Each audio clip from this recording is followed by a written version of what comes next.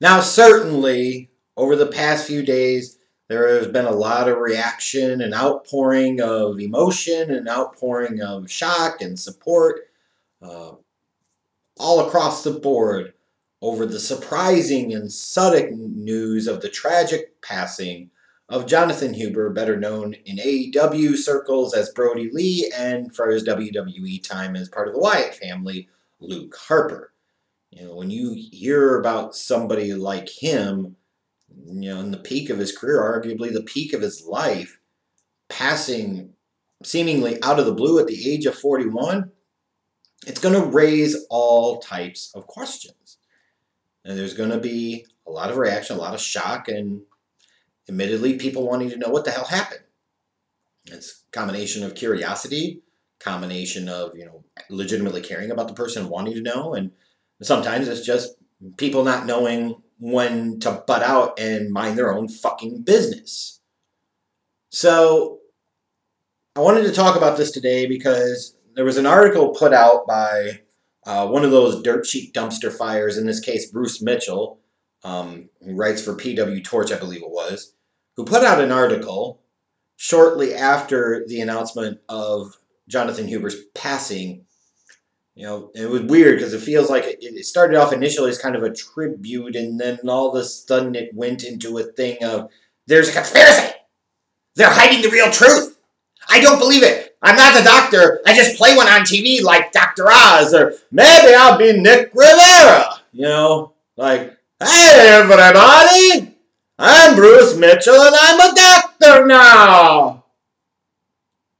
And now he's sitting there and passing judgment about, you know, AEW's hiding something. His wife is hiding something. They're not telling the truth, and we all deserve to know what the hell happened and what is really the cause of the death.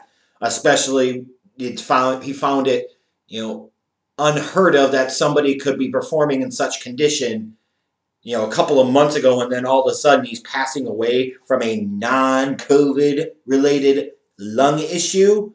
Bruce, you know, the non doctor that he is, can't just can't see that and can't understand that. And look, before we get to the everybody roast Bruce Mitchell bandwagon, which I think everybody's done uh, for a couple of days now, and I certainly am going to here in a moment or two, don't worry. Um, I do I do think it's important to say this is that if Jonathan Huber had contracted COVID and had potential to put others at risk, uh, then I'm okay with that information being needed to be made public. If he had contracted COVID, but then thought he was okay, but then there was a lingering uh, health issue that resulted out of it. Like we saw for the kid that plays for the University of Florida, the myocarditis uh, that he got as a result of his COVID battle over the summer, like nearly killed him. Like those are important details to know, and I do think it's fair to ask for that to be released to the public because it can help in part inform and educate the public. And you know, I'm sorry, but looking at it for being a person in kind of the public profile and in the public spotlight, if something like that can potentially help save other lives, like your family does kind of need to get over the privacy shit a little bit. And I would have no issues with the request for sharing that information because I do think it's important. But we're not talking about that here. Or if he were talking about that he was pulling an Abdullah the Butcher and giving Hep C to everybody liberally, like once you start doing that type of stuff, you absolutely lose the right to any privacy. People deserve to know. People have the right to know at that point. But none of that happened here. From all reports, all things, it's been said that it was a non COVID related lung issue. So for Bruce Mitchell to not only write that dumpster fire of an article, but then to continue to stand by it, to only later then have PW Torch pull that shit back once it got all the backlash, like is the ultimate of you're a piece of shit and you deserve every bit of backlash that you're getting for this. Because this goes beyond just being tone deaf or just making a mistake or a poor choice in wording. Like, too often in this world, the cancel culture comes in, and as soon as somebody makes a mistake, no matter how small and insignificant or big and egregious, like, they're canceled forever! No matter what. There's no redeeming, there's no anything, which, which is just fundamentally stupid. Because when you make mistakes, that's how you learn and grow and become the best version of yourself. If you never step out of your comfort zone and you never make mistakes, you're never going to learn. Show me a person that's never made a mistake, and I'll show you a failure in life, period. So if Bruce Mitchell had just made a slip of the pen, so to speak, or a slip of the keyboard, or threw in a sentence like, I could forgive that and say, like, yeah, you deserve a little shit, but people also need to stop being so butthurt about it. Everybody being all emotional at the time, get the hell over it. Mm, but, like, there was maliciousness and intent here. And for him to stand by that garbage that he wrote and stand by it and stand by it goes beyond just being tone deaf. Like, there's a piece of libel there, potentially, slander there. You're accusing Jonathan Huber's widow of misleading the public. You're accusing AEW of misleading the public. Like, listen, that's a very serious thing.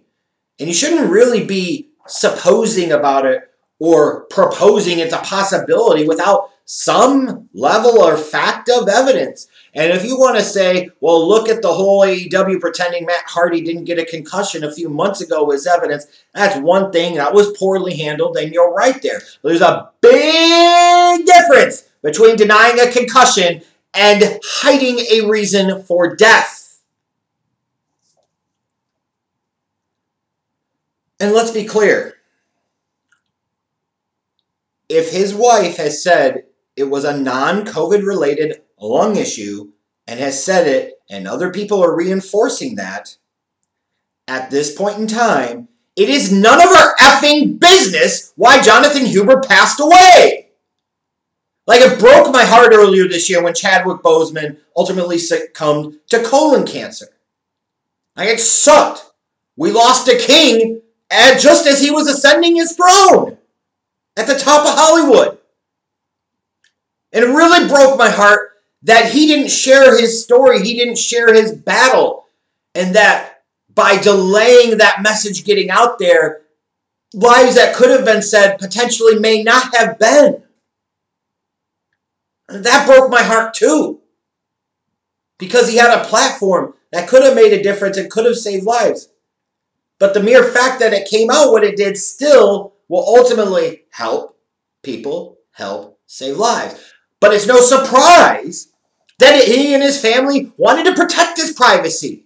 Because who the fuck are we to judge what other people do when they talk about their health and their life decisions and how they treat things? If it's not negatively impacting others, then butt the hell out.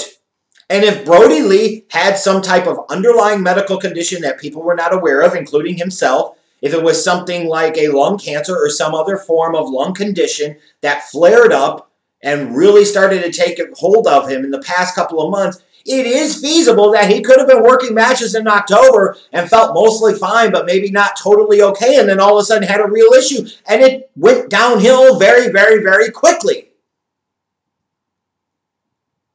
And it's none of our business. If it's something like that, then the last wishes of a Jonathan Huber, he clearly didn't want people to know about it like in the public spectrum. He didn't want it talked about. He didn't want it shared. He didn't want photos of him at the Mayo Clinic or at the hospital or anything like that. How could you ever consider yourself a fan of the man or a fan of the person or even a decent human being if you wanted to go against those wishes? You would be a really bad person to sit there and demand answers when you were entitled to none and don't need any. You're talking about a man who passed away in the peak of his life. All the plans for the future now are gone. Think about his wife. Think about his two sons. The last thing they need to be reading about or thinking about or hearing about is you got some nerdy ass wrestling dirt sheet garbage ass writer sitting there and questioning the motives of what his wife and AEW are doing and why there's so much secrecy around it. The reason there's so much secrecy around it, Bruce, because if it's not COVID related or something else that could really directly, immediately impact other folks, it's nobody's effing business. That's why. I understand we've created a culture of sensationalism in our media, in our journalism, where we have to get all those answers. Everybody wants to know. We want to know how much every athlete makes. We want to know how much this person makes for this movie. We want to know about this person's tax returns or this person's business dealings or this or that or 300 million damn things. And some of those I do think we are entitled to know about as the public. Some of them we are not. If he had COVID and it created impacts, or if we hid the fact that he had COVID, that deserves to be talked about in the public. We have no evidence of that. There's no reason to believe that.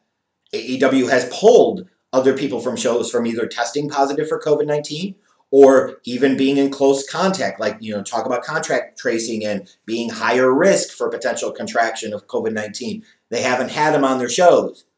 So there's absolutely no evidence from a COVID standpoint to believe that AEW did anything reckless or irresponsible with Jonathan Huber there's nothing indicating in general that it's anything exact other than exactly what the hell his wife has said it was. And that should be respected. Like, we don't need to know about every person's medical condition. We don't need to know all that business. And it's kind of sick that we have this thought or this curiosity, this morbid curiosity that we've got to know. In this case, Bruce Mitchell, no, the fuck, we don't. His Jonathan Huber's family owes us nothing.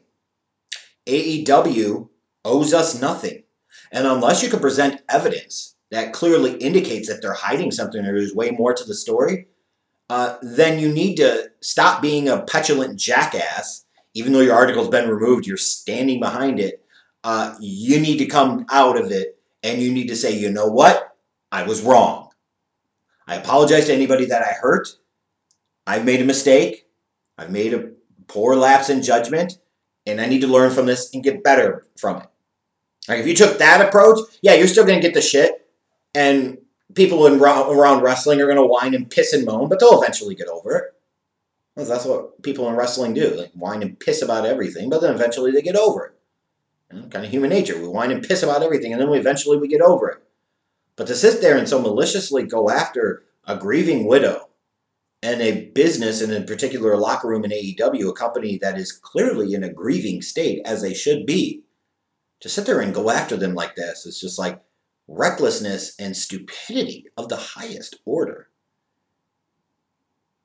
And personally, if there are people that decided they don't want to subscribe to PW Torch anymore, give their hard earned money to that rag of an organization because they have somebody like Bruce Mitchell on the payroll, I can't blame them. They're totally justified.